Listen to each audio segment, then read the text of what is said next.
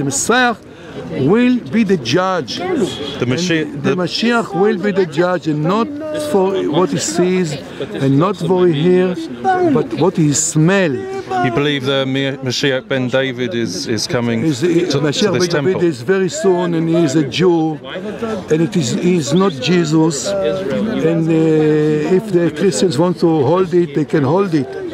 But we will never change our mind. We prefer to go back to Auschwitz and not to change our religion.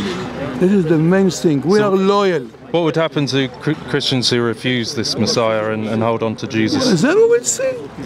Would We go will to- see. I, I don't know. I'm not the Messiah.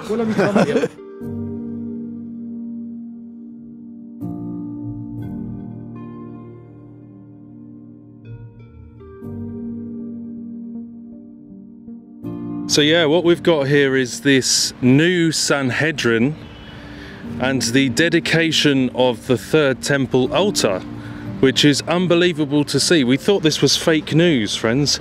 We didn't realize this was even real news. We thought it was one of those weird articles on the internet, but it turns out 10:30 a.m. this morning in in Jerusalem, we actually have a dedication uh, ritual for the altar, sacrificial altar of the third temple, the day after Hanukkah, the feast of dedication. We have this dedication ceremony by the new Sanhedrin. building the third temple, uh, everybody, then everybody will prosper because this is what this temple is for, for the whole world. So you think that there could be some union between all the religions as part of this? Absolutely, we already have union, unity, but everybody's afraid from the terrorists. So this is our job to unify everybody to worship the only true living God uh, in the third temple with all the nations, all the nations that will worship God. So the rededication of the second temple took place after the Maccabean War, which is what Hanukkah is uh, celebrating. So we've got the, the dedication of the third temple at the end of Hanukkah here. You know, it's pretty symbolic what we're seeing. Very, very interesting to see such a bold statement here in Jerusalem. So we're witnessing here a dedication of the sacrificial altar for the third temple.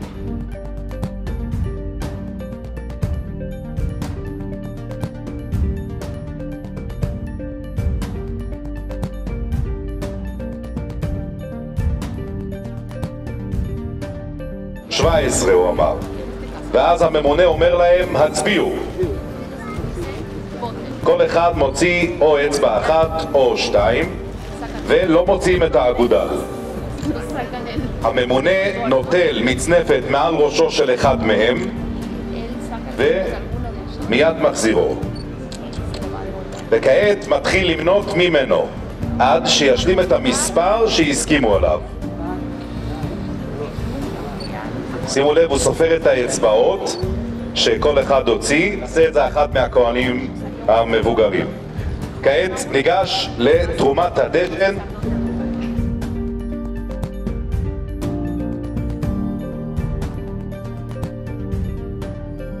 Right, and, So- and, and we are the the temple of the Holy Spirit, our body. Amen. Yeah. So so this, you know, when you've got Christians funding, some Christians funding this third temple, it's just like this. Yeah. is not going in a good direction, is it? I yeah, I think a lot of people believe that when this temple is built, either the Messiah will help build it or he will come after it's built. And so they're still expecting that Messiah. If we're funding it and we believe that the Messiah already came, we're kind of feeding into that same lie. Well, the the Antichrist uh, potentially. yeah, the abomination of desolation. Yeah. Yeah. So so what do you think? I mean, this is pretty serious stuff. This is not, you know, the fact that they're actually doing an offering by the looks of it. Mm-hmm. Uh, this is not this is not some silly little thing. This yeah, is um, this is this is a big deal. they're serious about this, you know. Yeah, this is. I believe that this is a symbol of those sacrifices Wow. that are going to be happening in the third temple. Wow. So, Yeah. yeah, no, it's Crazy times, my it friends. is. It is very crazy times, but we need to continue to have you know, the Jewish people in our prayers and just ask the Lord for a revelation and guidance on how to show them that Yeshua came, Yeshua paid for their sins upon that cross, but they need to accept that. Right. And so I'm I'm no better than anyone else. It is only by the grace of the Lord that I'm able to be here and have the knowledge of Yeshua. Would you say it's more of a one world uh, temple for the whole world? It will not be never one religion It will Okay. be nations. Okay. And the nations are like uh, gemstones, very precious. Okay. So maybe the United Nations will, will work with you on this. Maybe, maybe, maybe that- uh, we hope that they will change their way. But what we say to the nations, if you want to the real law, the pure law, the justice, the mercy, the peace, you must follow the Bible. שבט יששכר היו יודעי בינה לעתים. התייעצו איתם, משכן הזה ינוע בדרכים, אנחנו במדבר, מדבר סיני. צריכים להגיע לירושלים. You think we're in the time it's almost here, the third temple? Yes, absolutely. Uh, many, many um, Muslims, I'm talking about the high, um, uh, let's say, uh, rank or hierarchy in the Muslim uh, religions, came to us and asked us, please build a temple. Why? Because the temple is for everybody, it's for the whole nations to prosper and thrive. So they came to us and asked, please build the temple. Now, the problem is with the radicals. The New World um, without any, let's say, negative and forbidden feelings, like hatred, like uh, revenge, like it will be only loving, appreciation, uh, honoring. So this will be a, a new world, but not all order. It will be a new world, uh, holistic, uh, the holistic way, the, the way God wants it. So there seems to be some links with this to the Laodicean church. This whole thing, you know, with Christians funding it and pushing the idea that this needs to be done. There seems to be some links with the NAR Dominion theology, the New Apostolic Reformation, and also cults like Hebrew Roots. There was a conference recently where they were pushing that this needs to be done for prophetic purposes, and this is in a church that is NAR linked. So you see where all of this seems to be leading. Don't be deceived, folks. Remember, Jesus Christ is our sacrifice for sins. And if we're born again, He dwells in us. We are the temple of the Holy Ghost. We are the temple of the Holy Ghost. Stephen was stoned to death for speaking this truth by those people who loved and revered the second temple made of stone. So remember that we are the temple, that we don't need another stone temple to make sacrifices for sins. You know, that this is actually seems to be leading towards the prophecy of the Antichrist standing in, you know, the abomination of desolation, standing in the holy place.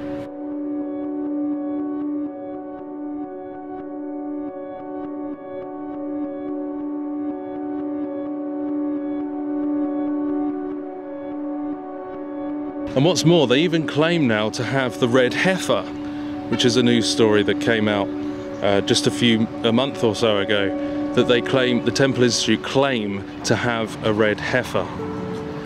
Time is short, folks.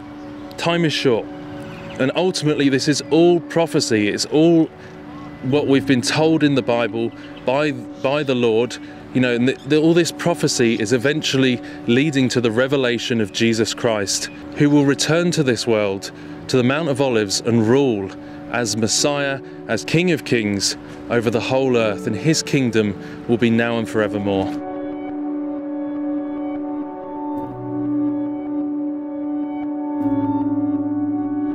It's serious because it is a rejection of the Messiah.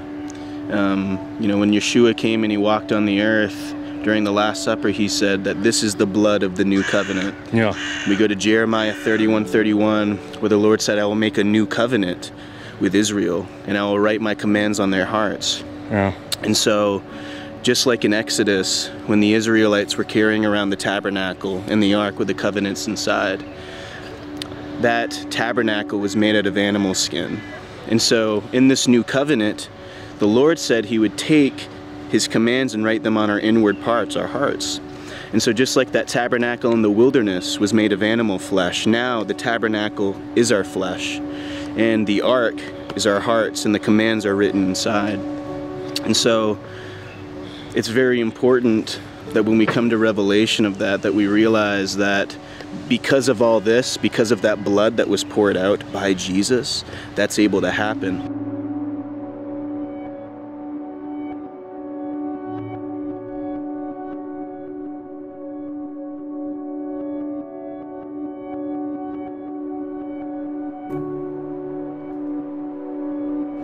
Folks, that Jesus is the final sacrifice. He's the sacrifice for our sins. This is not leading anywhere good to the Christians that think that this is. Um, it's leading to an abomination because Jesus is our sacrifice. We don't need any more, and the, our body is the temple. Our body is the temple where the Holy Spirit dwells.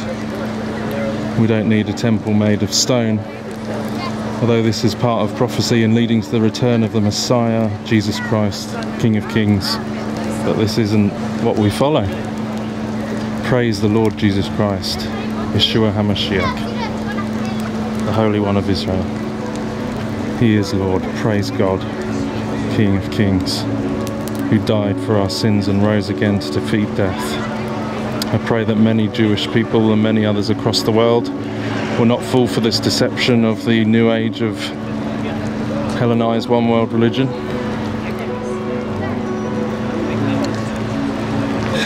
And that many will turn to know the true Messiah. Well, I'm actually up here on the altar, folks, praising the Lord Jesus Christ for his sacrifice for our sins. Please don't wait until it's too late. Prophecy is coming to pass the hour is late. Praise God, all glory to Him. All glory to Him. Thank you, Jesus, for dying for our sins.